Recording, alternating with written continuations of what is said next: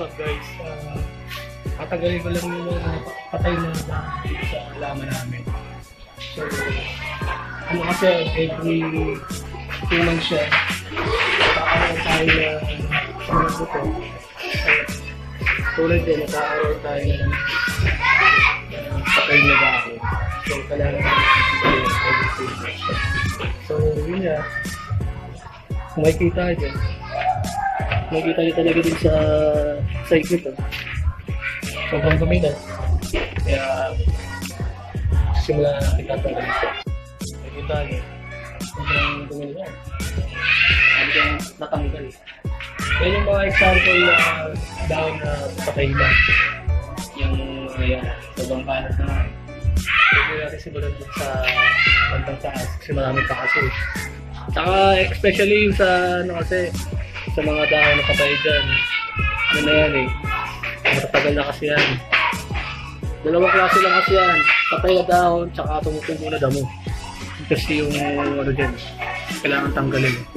Para kapag tatapos tayo mamaya, medyo maliwalas na yung ano, maliwalas na yung eh, ma- maliwalas, maliwalas na yung pagtingin sa alaman. So, simulan na natin.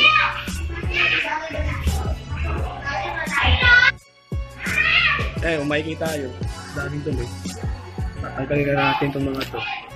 Kinakamay-kamay ko muna kasi hindi ako gumamit ng gunting dahil hawak-hawak ko itong camera eh. Gusto ko lang din ito i-vlog kung mga ginagawa ko dito sa bahay. Especially ano to eh. Ah, ito yung pangalawang talagang ginagawa ko sa bahay na. Kasi syempre yung una, yung taong bahay. Which is yung naglilinis ka ng halaman.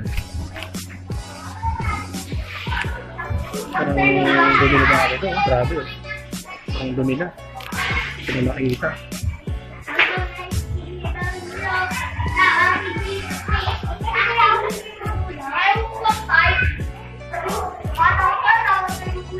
Ang dami. Ito mga mga damo, mga damo din to mga to. Ayan, Ang galing na. Mga kisa, yung sobrang dami.